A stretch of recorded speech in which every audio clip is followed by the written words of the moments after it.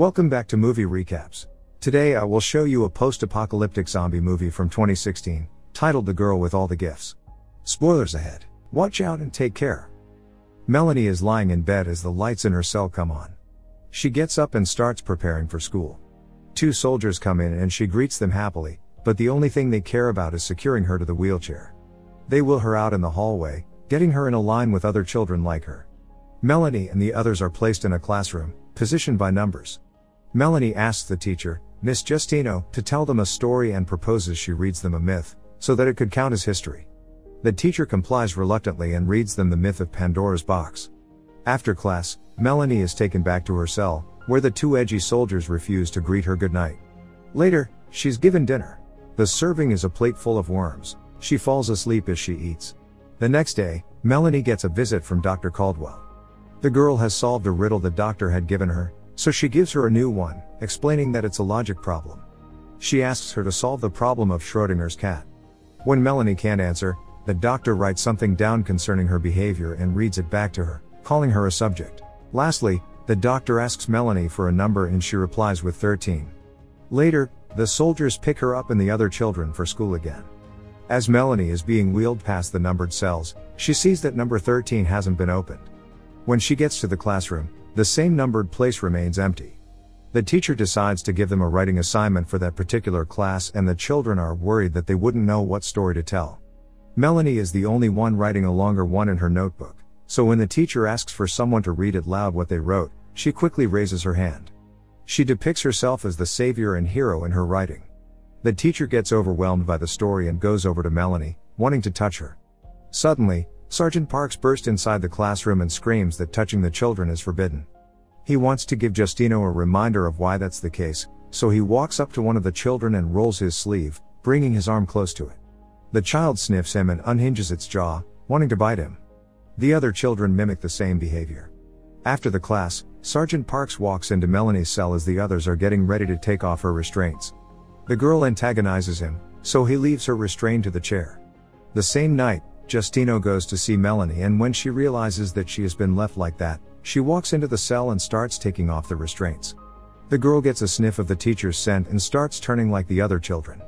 Before Melanie turns completely, she tells the teacher to get out. Later that night, Dr. Caldwell comes to visit her again. They chat and she asks the girl for another number. Melanie answers with the number 4, which is the same number as her own cell. The following morning, Sergeant Parks comes in to get Melanie.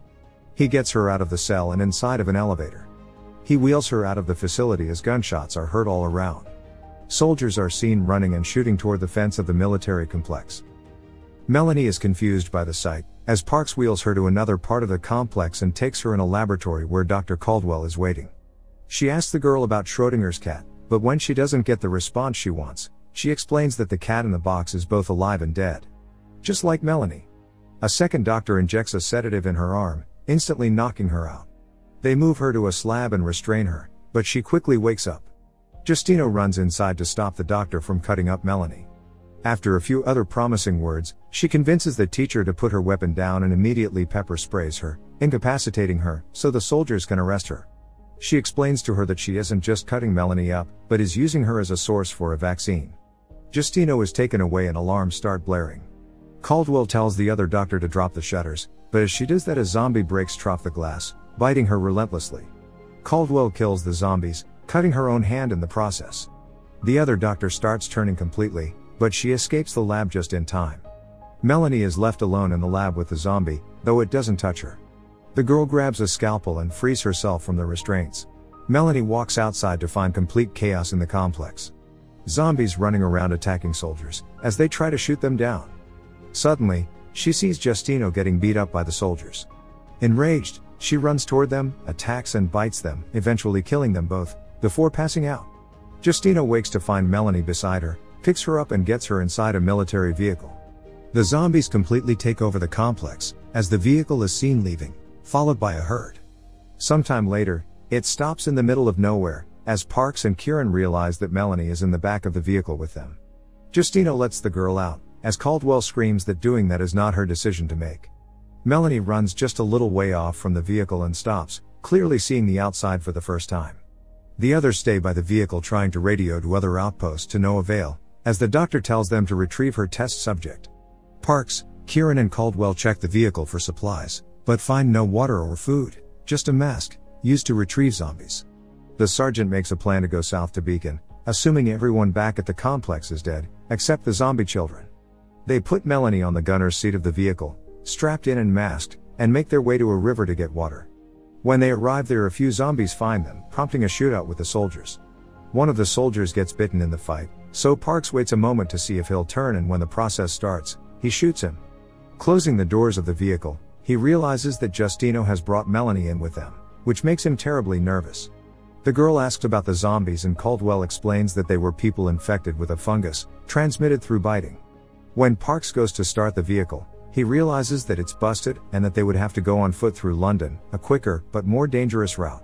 Parks and Kieran survey the perimeter which they would have to cross. It's filled with zombies. They inform the others that there is no alternative but to pass trough the zombies and find shelter and supplies once they're inside the city. The group walks between a mass of sleeping zombies, careful not to wake them. Suddenly, Parks stops when they reach a dead end. A zombie mother pushes a baby cart toward them and Caldwell goes up to her, making her stop. She sees the baby move in the cart and checks it, only to find a rat inside. She yelps, waking the zombie mother first and then the others. The group manages to escape and moves through the zombie filled streets of the city, eventually finding an abandoned hospital and going inside. Parks finds an opening to another floor and they all climb up, where they will be much safer. Parks, Justineau, and Kieran immediately go on patrol while Caldwell and Melanie stay back. As they're left alone, the girl asks where she came from. The doctor explains that her and others like her were found on a maternity ward in a hospital. They were the children of mothers who got infected with the fungus while they were still pregnant, so the infection got in their system through the placenta. Caldwell tells her that they were different than the other zombies, able to think and react almost like real people. Later, Justineau returns, giving Melanie new clothes she found for her and apologizing that she didn't find any food. That night, Park and Justineau talk about Melanie and he tells her that the girl loves her. Meanwhile, Kieran is guarding the girl and she bonds with him as well. The next morning, they notice that more zombies have gathered in front of the hospital. They have no way out, but Melanie comes up with an idea. Since the zombies won't attack her, she convinces them to let her go outside and find a way to move the zombies away from the building. Caldwell doesn't like the plan, but, without an alternative plan, the others agree. Before she leaves, Melanie asks to put on her new clothes. She goes outside and passes the zombies without trouble. Suddenly, she sees a cat, hunts it down and eats it raw. Later, she goes into a house and finds a little dog. When she comes back, she uses it as a decoy for the zombies, getting them all away from the hospital. Parks puts the mask and the handcuffs back on and they continue the journey trough the abandoned city, headed for Beacon. On their way, they see something strange, the fungus growing out of the bodies of the zombies, something the doctor thinks is the next stage in the life cycle of the fungus. She then tells Melanie that in her case, the fungus works more as a symbiote than a parasite like in the others. Going deeper in the city, they find a huge mass of bodies growing into a massive fungus that Caldwell suspects is the reason why no walking zombies are around. When enough of them come together, they transform into the mature stage of the fungus that can pollinate larger areas, if not the entire world. On their way, they suddenly find a mobile laboratory. They get inside the vehicle and start looking trough it. Park tries the engine first and then the radio. No response. Kieran leaves on a supply run and Melanie is getting uneasy, like she's about to turn. She tells them that she needs to eat too and they let her out to hunt. She finds her food fast and tears right through it. When she's done eating, she hears a strange sound and follows it to a bookstore. She peeps trough and sees a group of children communicating with grunts. Melanie understands that they are just like her, when suddenly one of them comes inside and tells the others that he has smelled something. They all follow him out. Back at the mobile lab, Caldwell is getting sicker and informs Justineau that she has sepsis. Then she starts talking about Melanie again and how she needs her brain and spine to make the vaccine, much to Justineau's displeasure. Suddenly, Melanie returns and tells them about the children she saw, convinced that they will hunt for Kieran. He's seen walking down a street and suddenly finding an unopened can on the ground and then another one, until he sees a store and crawls under the shutter to get in. Once inside, he starts eating and looking trough dirty magazines. A little girl appears behind him, startling him. She lures him between the rafters of the store and momentarily more children appear. When their leader joins them, they all attack Kieran together. Meanwhile, Melanie is leading Parks and Justineau to him. She can smell him like the other kids did. They finally arrive at the store, go inside and find Kieran half eaten. Melanie realizes that the children didn't just set a trap for him, but for them as well. They go outside and see that she was right, the group of kids is waiting for them. Melanie challenges the leader and fights with him. When she kills him to prove to the others that she is the strongest, she's able to protect Parks and Justineau and lead them back to safety. They arrive at the lab to see that the door is open. When they walk inside, Caldwell sedates them with some kind of gas. She pulls Melanie toward the slab to perform her procedure, but stops because she's in terrible pain from her hand. She turns around for a moment to fix it, but when she turns back around, Melanie is already conscious and alert. They talk and she tries to convince the girl to give herself up, so that she can save everyone with her vaccine. Melanie almost agrees, but asks one last question. She wants to know if the doctor thinks she's alive or just mimicking human behavior. Caldwell answers with the former. Then, the girl says, Why should we die to save you? Melanie runs out, leaving the doctor in the lab, but she follows her. Lagging behind Melanie, with no gun or protection, Caldwell is immediately surrounded by the zombie children. Meanwhile, the girl goes to the huge fungus they found before. She sets it on fire with the intention to activate the spores. Unfortunately, Parks had followed her too and he gets infected. Melanie didn't plan for that to happen. As he starts turning, he asks her to shoot him before he becomes one of them.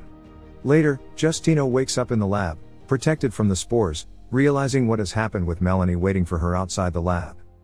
In the final moments of the film, Justineau is woken up by Melanie. Some time has clearly passed. She take out a whiteboard with her and starts a class with the zombie children listening to her from the other side of the lab window. Melanie is their leader now and they all attend Miss Justineau's lessons together. Make sure to subscribe and turn on notifications so you can watch more videos like this. Thanks for watching.